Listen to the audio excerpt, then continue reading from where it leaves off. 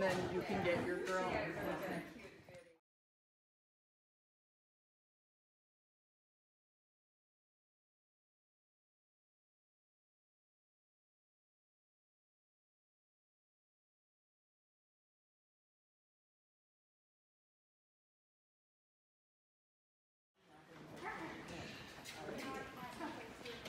Good job, Daisy.